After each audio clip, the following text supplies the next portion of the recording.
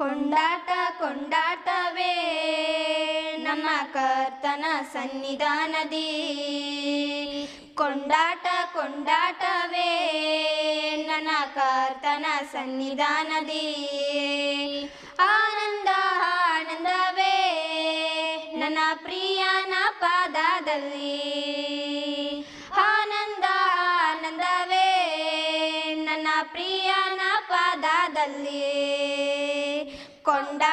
ಕೊಂಡಾಟವೇ ನನ್ನ ಕಾತನ ಸನ್ನಿಧಾನದಿ. ಪಾಪವೆಲ್ಲ ತೊಲಗಿತು, ಶಾಪವೆಲ್ಲ ನೀಗಿತು ಯೇಸುವಿನ ರಕ್ತದಿಂದ. ಪಾಪವೆಲ್ಲ ತೊಲಗಿತು, ಶಾಪವೆಲ್ಲ ನೀಗಿತು ಯೇಸುವಿನ ರಕ್ತದಿಂದ. ಕ್ರಿಸ್ತನಲ್ಲಿ ಜೀವನ, ಕೃಪೆಯ ಜೀವನ ಪರಿಶುದ್ಧ ಆತ್ಮನಿಂದ ಕ್ರಿಸ್ತನಲ್ಲಿ ಜೀವನ ಜೀವನ ಪರಿಶುದ್ಧ ಆತ್ಮನಿಂದ ಕೊಂಡಾಟ ಕೊಂಡಾಟವೇ ನನ್ನ ಕರ್ತನ ಸನ್ನಿಧಾನದಿ. ದೇವಾದಿ ದೇವನು ದಿನ ದಿನದಿ ತಂಗುವ ದೇವಾಲಯ ನಾನೇ. ದೇವಾದಿ ದೇವನು ದಿನ ದಿನದಿ ತಂಗುವ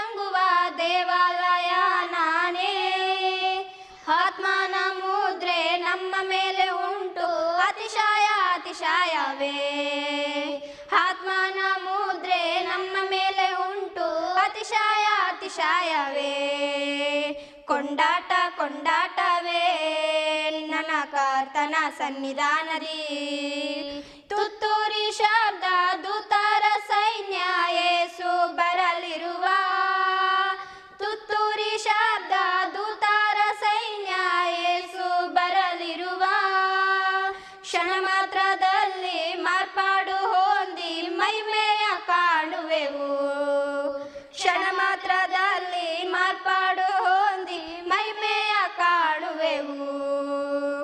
ಕೊಂಡಾಟ ಕೊಂಡಾಟವೇ. ನನ್ನ ಕರ್ತನ ಸನ್ನಿಧಾನದಿ. ಸರ್ವಶಕ್ತ ಯೇಸು ಜೀವದಾರ ಯೇಸು ಎಂದೆಂದು ಜಯ ನೀಡುವ. ಸರ್ವಶಕ್ತ ಯೇಸು ಜೀವದಾರ ಯೇಸು ಎಂದೆಂದು ಜಯ ನೀಡುವ. ಹೊಮ್ಮನಸಿನಿಂದ ಹೋಸನ್ನ ಹಾಡಿ, ಊರಿಗೆಲ್ಲ ಸಾರೋಣ ಬಾ ಹೊಮ್ಮನಸಿನಿಂದ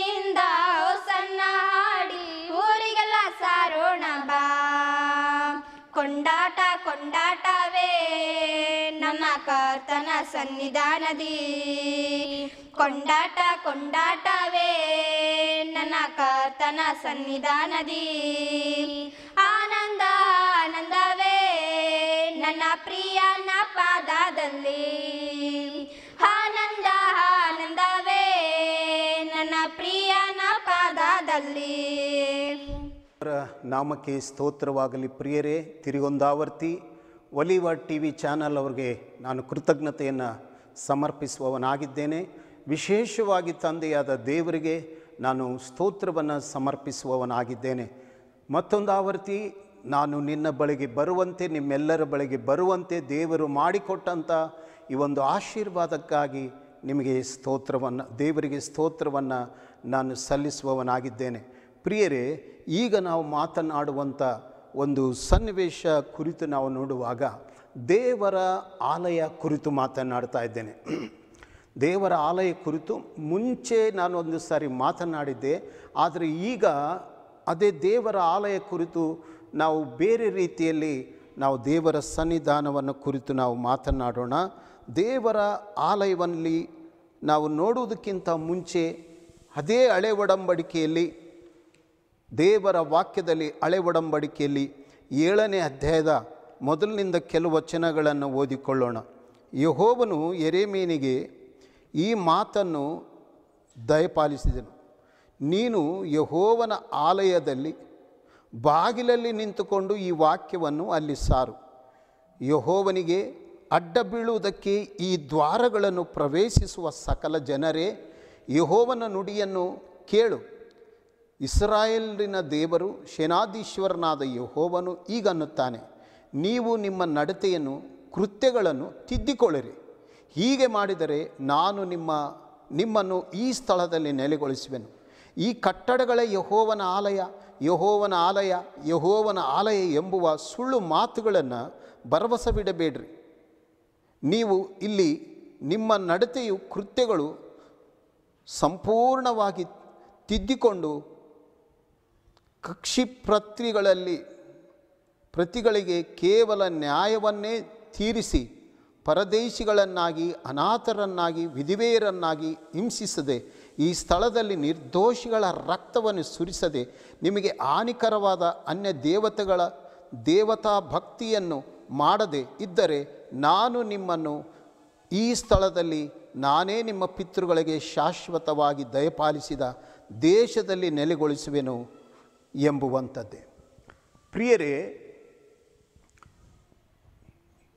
ಇಲ್ಲಿ ಎರೆಮೀನು ಹೇಳ್ತಾ ಇದ್ದಾನೆ, ದೇವರ ಒಂದು ಪರಿಶುದ್ಧವಾದ ವಾಕ್ಯದಲ್ಲಿ,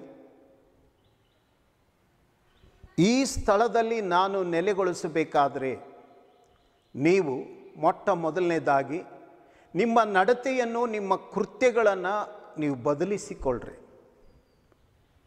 ನಿಮ್ಮ ಕೃತ್ಯಗಳನ್ನು ಬದಲಿಸಿಕೊಳ್ಳ್ರಿ ಈ ಸ್ಥಳವನ್ನು ದೇವರ ಆಲಯದ ಬಾಗಿಲಲ್ಲಿ ನಿಂತುಕೊಂಡು ಹೊರಗೆ ಪರಿ ಪ್ರಸಂಗ ಮಾಡ್ತಾ ಇದ್ದೇನೆ ಎರೆಮೇನು ನೀವು ಒಳಕ್ಕೆ ಬರಬೇಡ್ರಿ. ನೀವು ಒಳಕ್ಕೆ ಬರಬೇಡ್ರಿ. ಯಾಕೆ ಒಳಕ್ಕೆ ಬರಬೇಡ್ರಿ ಎಂಬುದಾಗಿ ನಾವು ನೋಡ್ತಾ ಇದ್ದೇವೆ ಎಂಬುದಾಗಿ ನೋಡುವಾಗ, ನೀವು ಒಳಕ್ಕೆ ಯಾಕೆ ಬರ್ತೀರಿ? ಆಲಯ, ಇದು ಆಲಯ. ಇದು ಆಲಯ ಎಂಬುದಾಗಿ ಕೇವಲ ನಿಮ್ಮ ಮನಸ್ಸಿನಲ್ಲಿ ಆಲಯ ಆಲಯ ಎಂಬುದಾಗಿ ವಿನಃ ಇದರಲ್ಲಿ ನಿಮ್ಮ ಕ್ರಿಯೆಗಳು, ನಿಮ್ಮ ಕೃತ್ಯಗಳು ದೇವರಿಗೆ ಮೆಚ್ಚುಗೆಯಾದವುಗಳು ಅಲ್ಲ ಎಂಬುದಾಗಿ ದೇವರು ಹೇಳ್ತಾ ಇದ್ದಾನೆ. ಸೊ ಆದ್ದರಿಂದ ಪ್ರಿಯರೇ, ನಾನು ನೀನು ದೇವರ ಪರಿಶುದ್ಧವಾದ ಆಲಯದಲ್ಲಿ ಇರಬೇಕಾದ್ರೆ ದೇವರ ಮುಂದೆ ನಾನು ನೀನು ನಿರ್ದೋಷಿಗಳು, ದೋಷವಿಲ್ಲದವರು ಆಗಿರಬೇಕೆಂದು ಆತನು ಜಗದುತ್ಪತ್ತಿಗೆ ಮುಂಚಿತವಾಗಿ ಕ್ರಿಸ್ತನನ್ನು ನಮ್ಮಲ್ಲಿ, ನಮ್ಮನ್ನು ಆರಿಸಿಕೊಂಡಿದ್ದಾನೆ. ಕ್ರಿಸ್ತನಲ್ಲಿ ಕ್ರಿಸ್ತನಲ್ಲಿ ನಮ್ಮನ್ನು ಆರಿಸಿಕೊಂಡಿದ್ದಾನೆ ಎಂಬುದಾಗಿ ದೇವರ ವಾಕ್ಯದಲ್ಲಿ ನಾವು ನೋಡುತ್ತಾ ಇದ್ದೇವೆ. ಹಾಗಾದರೆ ಯಾವ ರೀತಿಯಲ್ಲಿ ನಾವು ದೇವರಿಗೆ ವಿರುದ್ಧವಾಗಿ ನಡೆದುಕೊಂಡಿದ್ದೇವೆ ಎಂಬುದಾಗಿ ಇಸ್ರಾಯೇಲ್ ತಮ್ಮ ಮನಸ್ಸಿನಲ್ಲಿ ಅಂದುಕೊಳ್ಳಬಹುದು. ಆದರೆ ದೇವರ ವಾಕ್ಯದಲ್ಲಿ ನೋಡ್ತೇವೆ ಇದು ನನ್ನ ಆಲಯ, ಇದು ದೇವರಲ್ಲಿದ್ದಾನೆ ಎಂಬುದಾಗಿ ನೀವು ಕೇವಲ ಕಾಟಾಚಾರದಿಂದ ಬರುವಂಥದ್ದಲ್ಲ.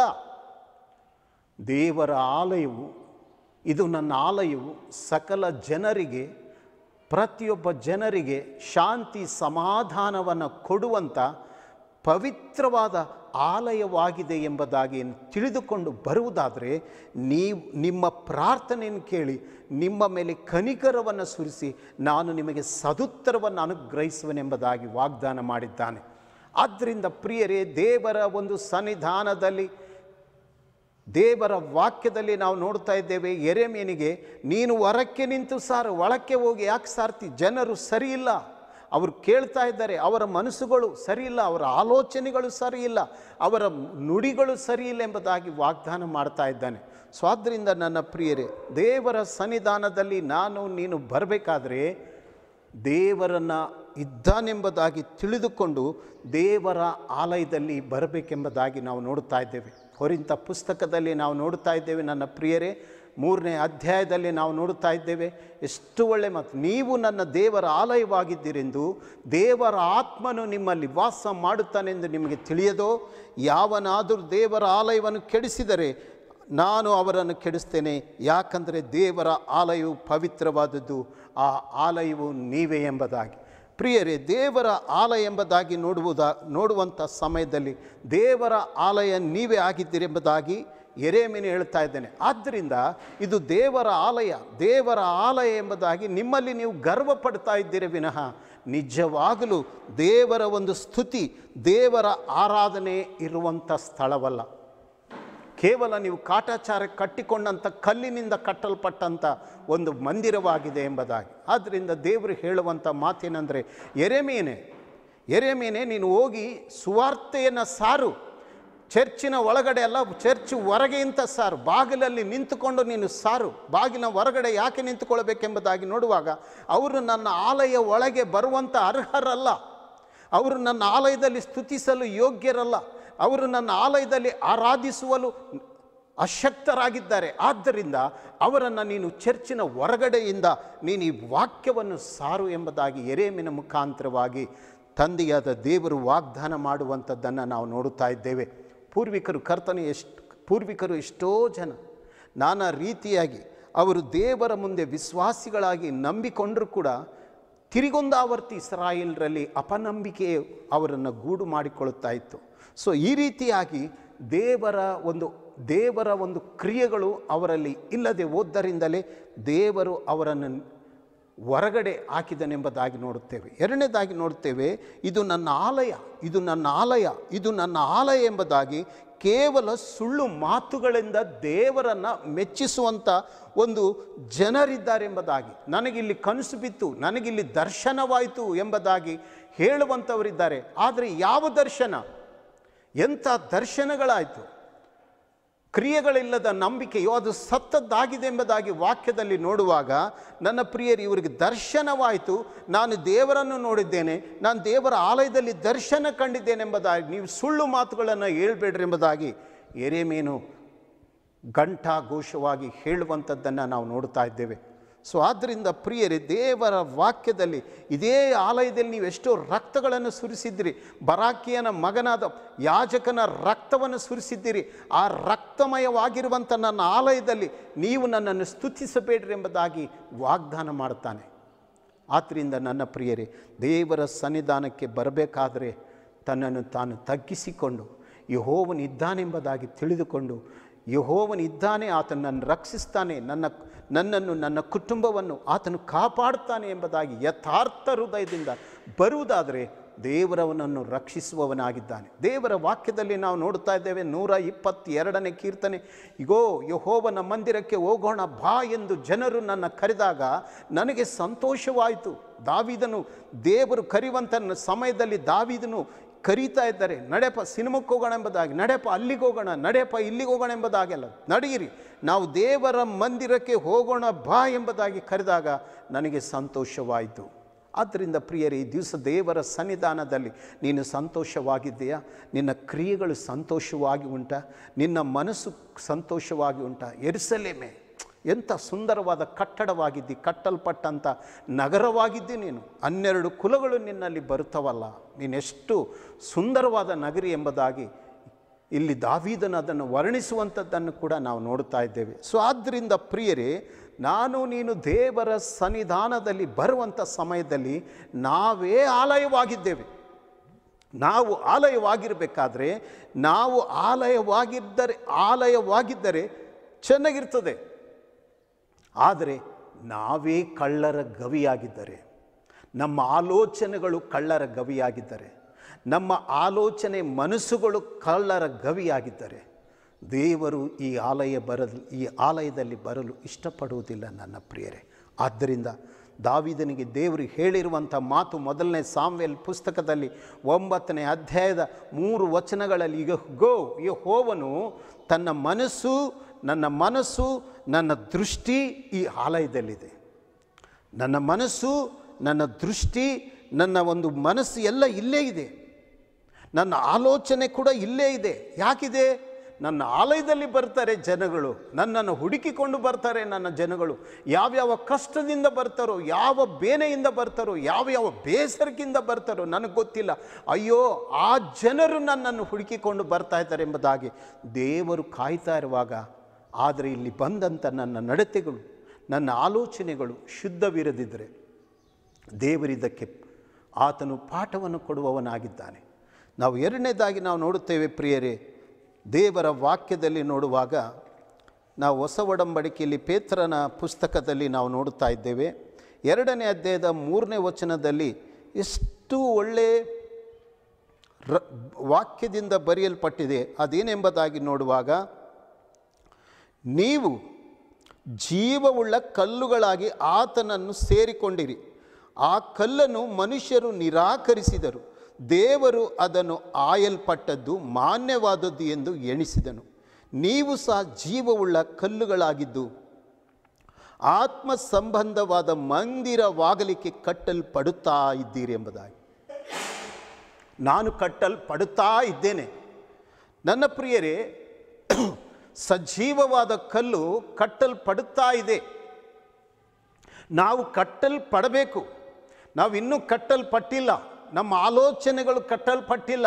ನಾವು ಕಟ್ಟಲ್ಪಟ್ಟಿಲ್ಲ. ಆದ್ದರಿಂದ ನಾನು, ನೀನು ದೇವರ ಸನ್ನಿಧಾನದಲ್ಲಿ ಒಬ್ಬೊಬ್ಬಂಟರಾಗಿ, ಒಬ್ಬೊಬ್ಬರಾಗಿ ಎಲ್ಲರೂ ಸೇರಿಕೊಂಡು ಸಜೀವ ಕಲ್ಲುಗಳಾಗಿ ಆತ್ಮ ಸಂಬಂಧವಾದ ಜೀವವುಳ್ಳ ಕಲ್ಲುಗಳಾಗಿ ಆತ್ಮ ಸಂಬಂಧವಾದ ಕಟ್ಟಡವಾಗಲಿಕ್ಕೆ ನಾವು ಕಟ್ಟಲ್ಪಡ್ತಾ ಇದ್ದೇವೆ. ಕಟ್ಟಲ್ಪಡ್ತಾ ಇದ್ದೇವೆ ಎಂಬುದಾಗಿ ನೋಡುವಾಗ ನಾವು ಕಟ್ಟಲ್, ಕಟ್ಟಲ್ಪಡಬೇಕಾಗಿದೆ. ಸೊ ಆದ್ದರಿಂದ ನನ್ನ ಪ್ರಿಯರೇ, ಆತನು ಬೇಗನೆ ಬರುತ್ತಾನೆ. ಬರುವ ಆತನು ಬೇಗನೆ ಬರುತ್ತಾನೆ. ನಾನು ನೀನು ದೇವರ ಸನ್ನಿಧಾನದಲ್ಲಿ ಯಾವ ರೀತಿ ಬರ್ತಾ ಇದ್ದೇವೆ? ಆದ್ದರಿಂದ ನಾನು ನೀನು ದೇವರ ಸನ್ನಿಧಾನದಲ್ಲಿ ನಾವು ಯಾವ ರೀತಿ ಬರ್ತಾ ಇದ್ದೇವೆ? ನಾವು ಆಲೋಚನೆ ಮಾಡಿಕೊಳ್ಳಬೇಕು ನನ್ನ ಪ್ರಿಯರೇ. ಆದ್ದರಿಂದ ದೇವರ ವಾಕ್ಯದಲ್ಲಿ ನಾವು ನೋಡ್ತಾ ಇದ್ದೇವೆ ದಾವಿದನು ಹೇಳುವಂಥ ಇಪ್ಪತ್ತೇಳನೇ ಕೀರ್ತನೆ, ದೇವರ ಆಲಯಕ್ಕೆ ಹೋಗುವಂಥ ಒಂದೇ ಮನಸ್ಸನ್ನು ಬೇಡಿಕೊಂಡನೆಂಬುದಾಗಿ. ಒಂದೇ ಮನಸ್ಸು, ನನಗೆ ಬೇರೆ ಯಾವುದು ಆಲೋಚನೆ ಇಲ್ಲ, ಒಂದೇ ಮನಸ್ಸು. ಯಾಕೆಂಬುದಾಗಿ ನೋಡುವಾಗ ದೇವರ ಆಲಯದಲ್ಲಿ ದೇವರ ಆತ್ಮನಿರ್ತಾನೆ ದೇವರನ್ನು ಆರಾಧಿಸುವವರು ಆತ ಆತ್ಮೀಯ ರೀತಿಯಲ್ಲಿ ಸತ್ಯಕ್ಕೆ ತಕ್ಕ ಹಾಗೆ ಆರಾಧಿಸಲು ನಾನು ನೀನು ಬರ್ತಾ ಇದ್ದೇವೆ. ಹಾಗಾದರೆ ದೇವರನ್ನು ಆರಾಧಿಸುವಂಥ ಸಮಯದಲ್ಲಿ ಪರಿಶುದ್ಧಾತ್ಮನೇ ಇಳಿದು ಬರುವವನಾಗಿದ್ದಾನೆ. ಆದ್ದರಿಂದ ಪ್ರಿಯರೇ, ನೀನು ದೇವರ ಪರಿಶುದ್ಧವಾದ ಸನ್ನಿಧಾನದಲ್ಲಿ ಬರಬೇಕಾದ್ರೆ ಯಾವ ರೀತಿ ಬರ್ತಾ ಇದ್ದಿ? ಆದ್ದರಿಂದಲೇ ಎರೆಮೀನಿಗೆ ಆತನು ಗದರಿಸ್ತಾ ಇದ್ದೇನೆ.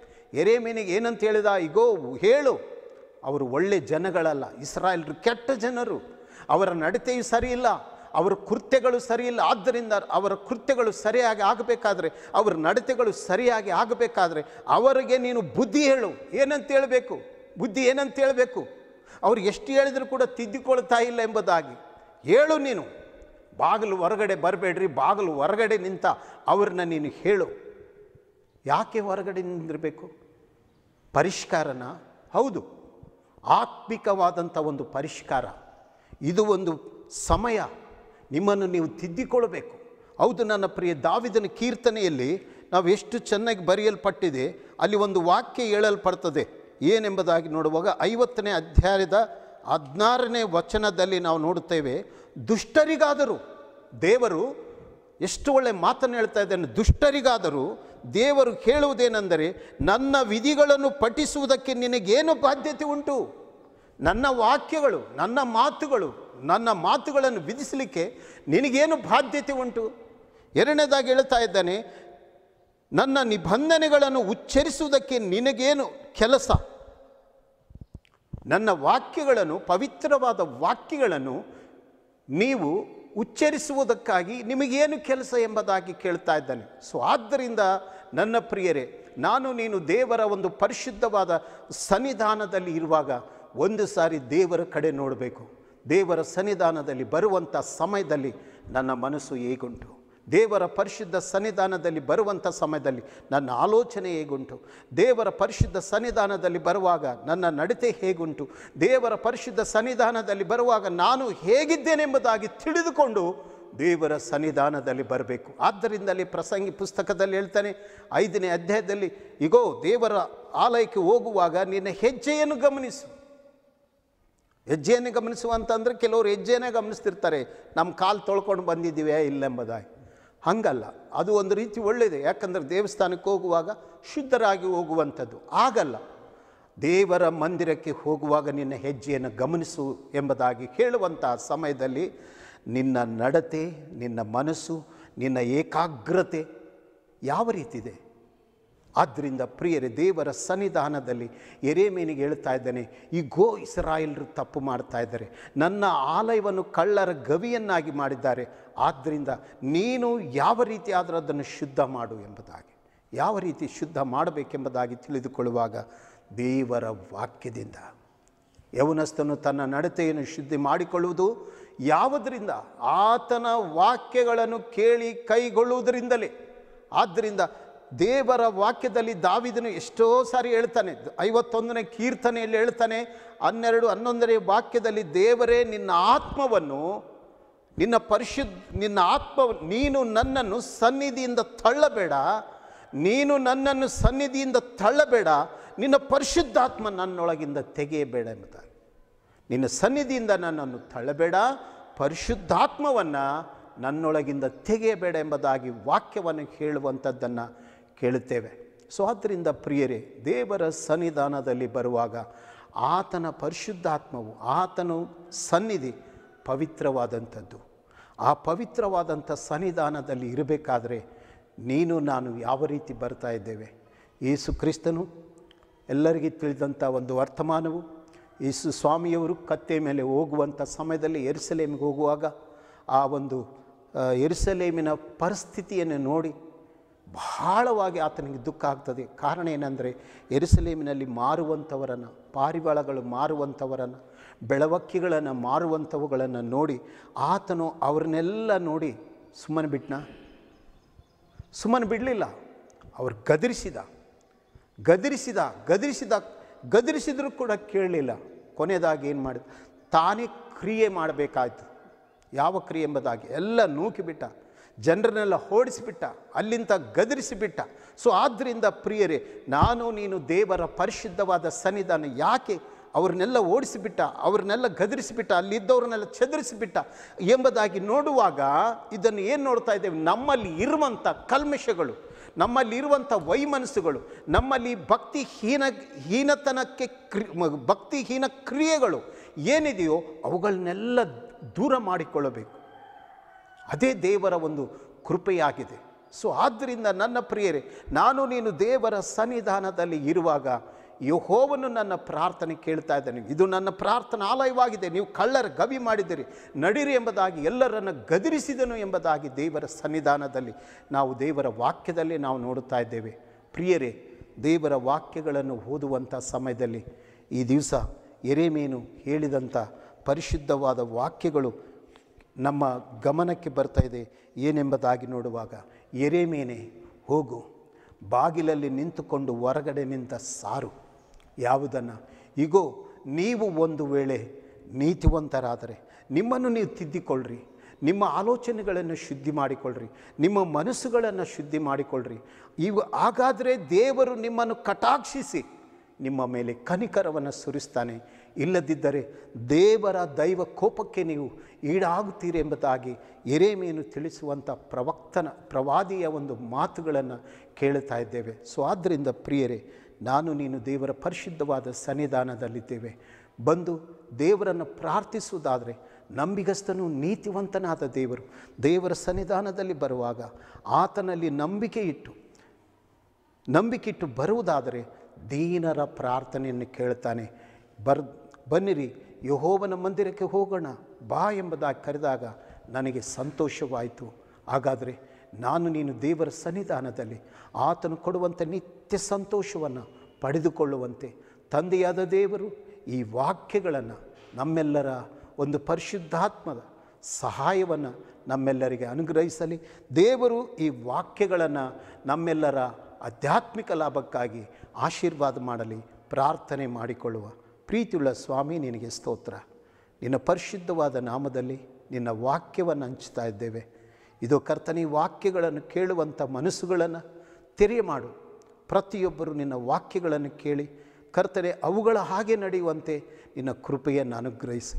ಬಹು ದಿವಸ ಬಾಳಿ ಬದುಕಬೇಕೆಂಬುದಾಗಿ ಇಚ್ಛೆ ಪಡುವಂಥ ಪ್ರತಿಯೊಬ್ಬರ ಪ್ರಾರ್ಥನೆಯನ್ನು ಕೇಳು. ಅಂಧಕಾರದ ಶಕ್ತಿಗಳನ್ನು ದೂರ ಮಾಡಿ, ನಿನ್ನ ಪರಿಶುದ್ಧ ಆಲಯದಲ್ಲಿ ದೋಷವಿಲ್ಲದವರಾಗುವಂತೆ ನೀನವರನ್ನು ಆರಿಸಿಕೊಂಡು ಅವರನ್ನು ವಿಮುಕ್ತಿ ಮಾಡಿ ಅವರನ್ನು ಪರಿಶುದ್ಧಗೊಳಿಸಬೇಕಾಗಿ ಏಸುವಿನ ನಾಮದಲ್ಲಿ ಪ್ರಾರ್ಥಿಸ್ತೇವೆ ತಂದೆಯೇ.